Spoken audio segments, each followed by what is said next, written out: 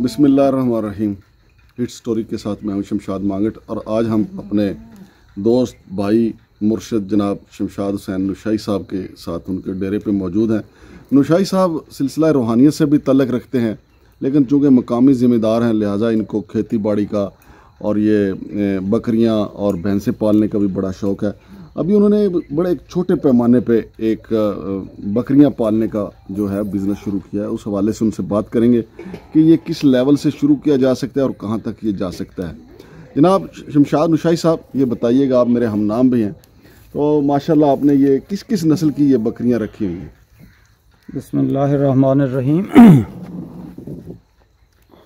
ਬਹੁਤ ਸ਼ੁਕਰੀਆ ਤੁਹਾਡਾ ਤਸ਼ਰੀਫ ਲਿਆਉਣ ਦਾ ਬੱਕਰੀਆਂ ਜਿਹੜੀਆਂ ਨਾ ਜੀ ਬੱਕਰੀਆਂ ਜਿਹੜੀਆਂ ਨਾ ਜੀ ਨਹੀਂ ਆਪਣੀ ਮੌਜ ਵਿੱਚ ਜਾਣ ਉਹਨਾਂ ਕੀ ਕਰ ਬੱਕਰੀਆਂ ਮੈਂ ਨਾ ਜੀ ਜ਼ਹਿਨੀ ਤੌਰ ਤੇ ਰੱਖੀਆਂ ਨੇ ਹਜ਼ੂਰ ਦੀ ਸੁਨਨਤ ਸਮਝ ਕੇ।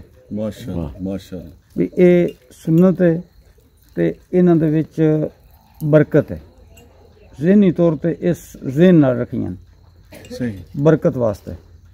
ਮੈਂ ਚੂੰਕਿ ਅੱਗੇ ਮੇਰੀ ਜ਼ਿੰਮੇਵਾਰੀ ਆਈ ਤੇ ਉਸ ਤੋਂ ਬਾਅਦ ਫਿਰ ਮੈਂ ਸਮਝਿਆ ਵੀ ਨਾਲ ਇਹ ਕੰਮ ਨਹੀਂ ਸ਼ੁਰੂ ਕਰਨਾ ਚਾਹੀਦਾ। ਫਿਰ ਇਹ ਰੱਖਣ ਨਾਲ ਮੈਂ ਗਾਈ ਵੀ ਦੋ ਲੈ ਲਈਆਂ। ਜ਼ਮੀਨਦਾਰੀ ਵਾਲਾ ਕੰਮ ਜਿਹੜਾ ਹੈ ਉਹ ਵੀ ਨਾਲ ਸ਼ੁਰੂ ਕਰ ਲਿਆ।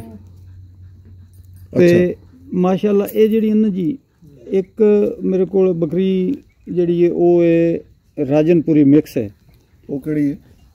ਇਹ ਬੱਕਰੀ ਜਿਹੜੀ ਨਾ ਜੀ ਇਹ ਰਾਜਨਪੁਰੀ ਮਿਕਸ ਹੈ। ਇਹ ਸਫੈਦ ਜਿਹੜੀ ਹੈ। ਸਫੈਦ। ਹਾਂਜੀ। ਅੱਛਾ। ਇਹ ਟ੍ਰੈਡੀ ਟ੍ਰੈਡੀ ਨਸਲ ਦੀ ਹੈ। ਅੱਛਾ ਤੇ ਕਾਲੀ ਜਿਹੜੀ ਹੈ? ਕਾਲੀ ਜਿਹੜੀ ਹੈ ਟ੍ਰੈਡੀ ਨਸਲ ਹੈ ਨਾ ਜੀ। ਇਹ। ਕਾਲੀ ਜਿਹੜੀ ਹੈ ਇਹ ਅੰਮ੍ਰਿਤਸਰੀ ਬੀਤਲ ਹੈ। ਅੱਛਾ। ਅੰਮ੍ਰਿਤਸਰ। ਅੰਮ੍ਰਿਤਸਰੀ ਬੀਤਲ ਬਹੁਤ ਅੱਛੀ ਕਲਾਸ ਦੀ ਅਸਲ ਨਸਲ ਜਿਹੜੀ ਨਾ ਜੀ ਬਹੁਤ ਅੱਛੀ ਨਸਲ ਹੈ ਇਹ ਅੰਮ੍ਰਿਤਸਰੀ ਬੀਤਲ ਜਿਹੜੀ। ਬਾਕੀ ਉਹ ਇੱਕ ਮੱਕੀ ਚੀਨੀ ਹੈ। ਉਹ ਸੁਰਖ ਜਿਹੜੀ ਹੈ ਇਹ ਬੀਤਲ ਤੇ ਟ੍ਰੈਡੀ ਮਿਕਸ ਹੈ ਉਹ ਵੀ ਬੀਤਲ ਤੇ ਟ੍ਰੈਡੀ ਮਿਕਸ ਹੈ। ਬਾਕੀ ਇਹਨਾਂ ਦੇ ਬੱਚੇ ਨੇ ਮਾਸ਼ਾਅੱਲਾ। ਤੇ ਅਸਲ ਜਿਹੜਾ ਮੇਰਾ ਫੋਕਸ ਹੈ ਇਹਨਾਂ ਦਾ, ਉਹ ਹੈ ਵੀ ਕੁਰਬਾਨੀ ਵਾਸਤੇ ਨਾ ਜੀ, ਬੱਕਰੇ ਤਿਆਰ ਕਰਨੇ ਨੇ।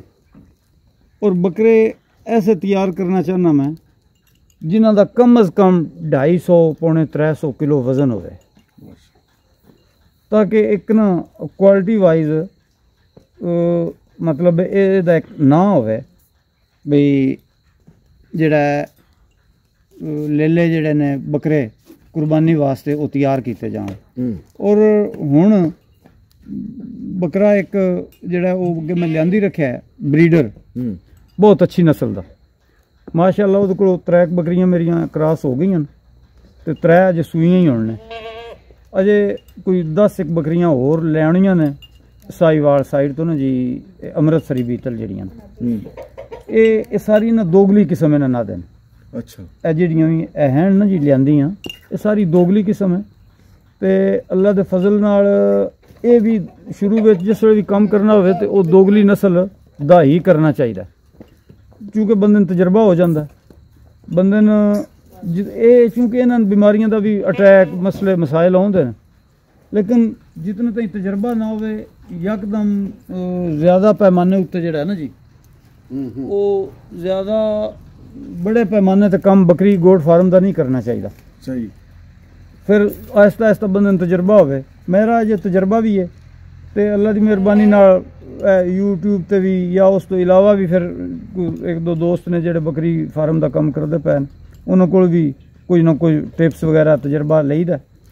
ਤੇ ਅਸੀਂ ਇਹਨਾਂ ਨੂੰ ਮਾਸ਼ਾਅੱਲਾ ਖੁਰਾਕ ਵਿੱਚ ਵੀ ਜਿਹੜਾ ਨਾ ਖੁਰਾਕ ਵਿੱਚ ਵੀ ਇਹਨਾਂ ਨੂੰ ਗੁੜ ਇਹ ਜਿਹੜਾ ਥੂਮ ਹੁੰਦਾ ਹੈ ਗਾਰਲਿਕ ਉਹ ਬੜਾ ਦਿੰਨੇ ਆ ਪੈ ਤੇ ਦੂਜਾ ਪੱਠਿਆਂ ਦੇ ਨਾਲ ਅਸੀਂ ਇਸ ਦਾ ਕਣਕ ਦਾ ਜਿਹੜਾ ਹੈ ਤੇ ਦਾਲ ਦਲਾ ਕੇ ਤੇ ਦੂਜਾ ਹੋਰ ਹੁੰਦਾ ਛਾਣ।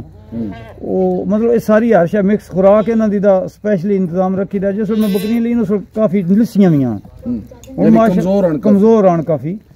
ਕਮਜ਼ੋਰ ਆਣ ਕਾਫੀ ਤੇ ਹੁਣ ਮਾਸ਼ਾਅੱਲਾ ਜਿਹੜਾ ਨਾ ਜੀ ਅੱਗੇ ਨਾਲੋਂ ਸਿਹਤ ਇਹਨਾਂ ਦੀ ਕਾਫੀ ਬਿਹਤਰ ਹੋਈ ਤੇ ਇੰਜ ਹੀ ਇਹਨਾਂ ਦੀ ਕੋਸ਼ਿਸ਼ ਕਰੀਦੀ ਹੈ ਇਹਨਾਂ ਨਾਲ ਬਚਿਆਂ ਹੀ ਰੱਖਿਆ ਵੀ ਇਹਨਾਂ ਨਾਲ ਅਹ, ਮਤਲਬ ਕੋਈ ਬੱਕਰੀ ਕੱਪੜੇ ਵੀ ਖਰਾਬ ਕਰ ਛੜੇ ਤੇ ਫਿਰ ਅਹ, ਮਤਲਬ ਕੋੜ ਨਹੀਂ ਲੱਗਦੀ ਗੁੱਸਾ ਨਹੀਂ ਆਉਂਦਾ ਬਾ ਇੰਜ ਹੀ ਨਾ ਅ, ਪਿਆਰ ਨਾਲ ਹੀ ਇਹਨਾਂ ਨਾਲ ਪੇਸ਼ ਆਵੀਦਾ नहीं लेकिन मुर्शिद मुझे ये बताएं कि मैंने कम बहुत कम देखा है कि इंसान के बच्चे तो अपने अंगूठे चूसते हैं हाँ लेकिन ये बकरियों के बच्चे आपके अंगूठे आपकी उंगलियां चूसती हैं ये अकीदत से चूसती हैं या इनको आपका ਨਹੀਂ, नशा पड़ गया ਮੈਂ ਪਿਆਰ ਵੀ ਇਹਨਾਂ ਨਾਲ ਨਾ ਜੀ ਮੈਂ ਇਹਨਾਂ ਨੂੰ ਅਕਸਰ ਇਹ ਬੱਚੇ ਜਿਹੜੇ ਨਾ ਇਹਨਾਂ ਨੂੰ ਅਕਸਰ ਹਰ ਵੇਲੇ ਮੈਂ ਇਹਨਾਂ ਨੂੰ ਜਿਸ ਵੇਲੇ ਡੇਰੇ ਤੇ ਆਇਆ ਹਾਂ ਤੇ ਫਿਰ ਮੈਂ ਇਹਨਾਂ ਨੂੰ ਆਪਣੇ ਨਾਲ ਕੋਲ ਰੱਖਣਾ ਬਹਾਨਾ ਇਹਨਾਂ ਨੂੰ ਥੱਲੇ ਉਹਨਾਂ ਦੇ ਦੁੱਧ ਪਿਆਣਾ हम्म, ਤੇ ਮਾਸ਼ਾਅੱਲਾ ਉਹ ਫਿਰ ਜਿਹੜਾ ਨਾ ਜੀ ਉਹ ਉਹ ਚੀਨਾ ਲੈ ਲੈ ਨਾ ਉਹ ਜਿਹੜਾ हम्म, ਵੱਡਾ ਉਹ ਤੇ ਇੰਜ ਹੋਣਾ ਬੰਨੇ ਨਾ ਜੀ। ਹਾਂਜੀ। ਉਹ ਖੁੱਲਾ ਹੋਵੇ ਨਾ ਤੇ ਮੈਂ ਉੱਥੇ ਆਉਂ ਨਾ ਜਿਸ ਵੇ ਤੇ ਉਹ ਇੱਥੋਂ ਭੱਜ ਵਗਦਾ ਉਹਦੇ ਮੇਰੇ ਵਾਸਤੇ। ਅੱਛਾ। ਮਤਲਬ ਉੱਥੇ ਜਾ ਕੇ ਫਿਰ ਮੇਰੇ ਨਾਲ ਰਲ ਕੇ ਵਾਪਸ ਆਉਂਦਾ। ਮਤਲਬ ਇੰਜ ਉਹ ਪਿਆਰ ਕਰਦਾ ਉਹ ਜਿਹੜਾ ਨਾ ਜੀ ਸਾਰਿਆਂ ਤੋਂ ਪਹਿਲਾਂ ਉਹ ਹੀ ਬੱਕਰੀ ਇਹ ਜਿਹੜੀ ਹੈ ਨਾ ਸਫੈਦ ਇਹਦਾ ਲੈ ਲੈ। ਤੇ ਉਹ ਸਾਰਿਆਂ ਤੋਂ ਪਹਿਲਾਂ ਉਹ ਹੀ ਬੱਕਰੀ ਸੂਈ। ਉਹ ਫਿਰ ਜ਼ਿਆਦਾ ਪਿਆਰਾ ਵੀ ਤੇ ਉਸ ਨੂੰ ਮਤਲਬ ਅਸੀਂ ਬੜੇ ਨਾਜ਼ਾਂ ਨਾਲ ਪਾਲਿਆ ਮਾਸ਼ਾਅੱਲਾ। ਤੇ ਸ਼ਮਸ਼ਾਦ ਸਾਹਿਬ ਇਹ ਬੱਕਰੀਆਂ ਜਿਹੜਾ ਦੁੱਧ ਦਿੰਦੀਆਂ ਨੇ ਇਹਨੂੰ ਤੁਸੀਂ ਘਰ ਇਸਤੇਮਾਲ ਕਰਦੇ ਹੋ ਜਾਂ ਸਾਰਾ ਇਹ ਬੱਚੇ ਹੀ ਪੀ ਜਾਂਦੇ ਨੇ? ਨਹੀਂ ਅਜੇ ਤੇ ਅਸੀਂ ਬੱਚਿਆਂ ਨਹੀਂ ਪਿਆਉਂਦੇ ਪਏ। ਅੱਛਾ। ਜਿਸ ਵੇਲੇ ਇਸ ਤੋਂ ਜ਼ਿਆਦਾ ਜ਼ਰਾ ਹਾਈ ਪੈਮਾਨੇ ਤੇ ਗੱਲ ਹੋਈ ਨਾ ਜੀ ਹਾਂ ਜੀ ਜ਼ਿਆਦਾ ਹੋਇਆ ਤੇ ਫਿਰ ਇਹ ਦੁੱਧ ਜਿਹੜਾ ਨਾ ਜੀ ਇਹ ਤੇ ਬੱਕਰੀਆਂ ਦਾ ਦੁੱਧ ਉਂਝ ਸ਼ਿਫਾ ਹੈ। ਤੇ ਅਸੀਂ ਇਨਸ਼ਾਅੱਲਾ ਇਸ ਨੂੰ ਘਰ ਵੀ ਇਸਤੇਮਾਲ ਕਰਾਂਗੇ। ਸਹੀ ਅਜੇ ਤਾਂ ਨਹੀਂ ਕਰਦੇ ਲੇਕਿਨ ਅਜੇ ਬੱਚੇ ਬੜੇ ਨੇ ਇਹਨਾਂ ਨੂੰ ਅਸੀਂ ਇੱਕ ਬੱਕਰੀ ਹੇਠ ਜ਼ਿਆਦਾ ਹੋਵੇ ਤੇ ਦੂਜਿਆਂ ਬੱਚਿਆਂ ਨੂੰ ਉਸ ਦਾ ਪਿਆ ਲੈਂਦੇ ਹਾਂ। ਤੇ ਅਜੇ ਤਾਂ ਸਾਡਾ ਫੋਕਸ ਹੈ ਬੱਚਿਆਂ ਉੱਤੇ। ਵੀ ਬੱਚੇ ਜਿਹੜੇ ਨਾ ਉਹ ਅੱਛੇ ਮਤਲਬ ਬਣਨ ਉਹਨਾਂ ਦੀ ਗਰੋਥ ਅੱਛੀ ਹੋਵੇ। ਤੇ ਸ਼ਮਸ਼ਾਦ ਸਾਹਿਬ ਮੈਂ ਜਾਣਨਾ ਕਿ ਤੁਸੀਂ ਥੋੜੇ ਜੇ ਨੀਮ ਹਕੀਮ ਵੀ ਹੋ। ਇਹ ਜਿਹੜਾ ਇਹਨਾਂ ਦਾ ਦੁੱਧ ਹੈ ਜੀ ਜੀ। ਉਸ ਚ ਕਿਹੜੀ ਕਿਹੜੀ ਬਿਮਾਰੀ ਦੀ ਸ਼ਿਫਾ ਹੈ? ਦੇਖੋ ਜੀ ਹਜ਼ੂਰ ਦਾ ਫਰਮਾਨ ਹੈ ਨਾ ਜੀ ਖਜੂਰ ਹੈ ਸ਼ਹਿਦ ਹੈ ਬੱਕਰੀ ਦਾ ਦੁੱਧ ਹੈ।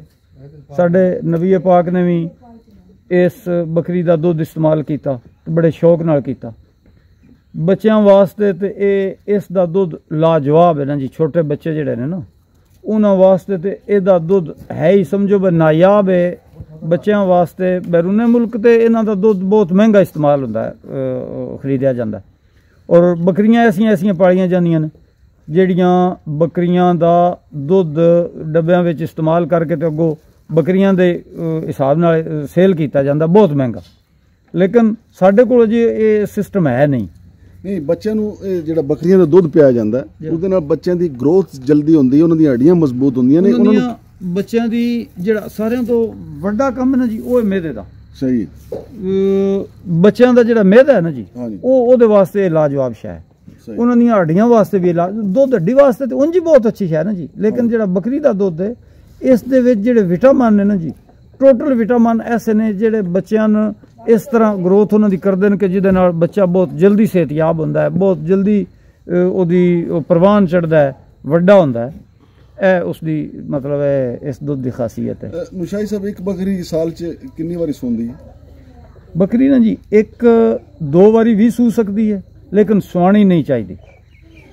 ਬੱਚੀ ਬੱਕਰੀ ਦਾ ਹਮਲਾ ਹੋਣ ਤੋਂ ਬਾਅਦ ਠੀਕ 5 ਮਹੀਨੇ ਤੋਂ ਬਾਅਦ ਇਹ ਸੂ ਜਾਂਦੀ ਠੀਕ ਠੀਕ 5 ਮਹੀਨੇ ਤੋਂ ਬਾਅਦ। ਇਨ 2-3 ਮਹੀਨੇ ਦਾ ਉੱਤੇ ਵਕਫਾ ਜ਼ਰੂਰ ਦੇਣਾ ਚਾਹੀਦਾ ਹੈ ਤਾਂ ਕਿ ਬੱਕਰੀ ਜਿਹੜੀ ਹੈ ਉਸ ਦੇ ਜਿਸਮ ਦੀ ਮਤਲਬ ਗਰੋਥ ਕੁਝ ਬਿਹਤਰ ਹੋ ਜਾਏ।